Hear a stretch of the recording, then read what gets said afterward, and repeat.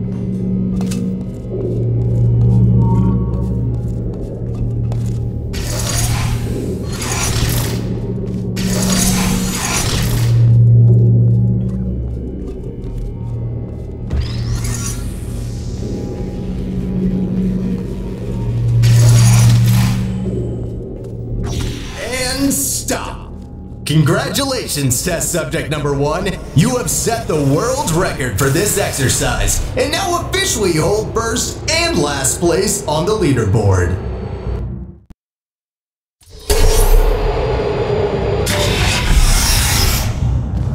Okay, what do we have here?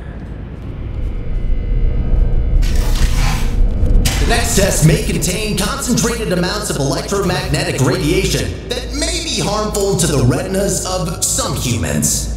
The Enrichment Center recommends to solve this test with closed eyes, as health insurance will not be provided for this specific exercise. In case the light sensing rods and cones of your eyes have previously been emancipated by an emancipation grill, feel free to ignore the prior warning.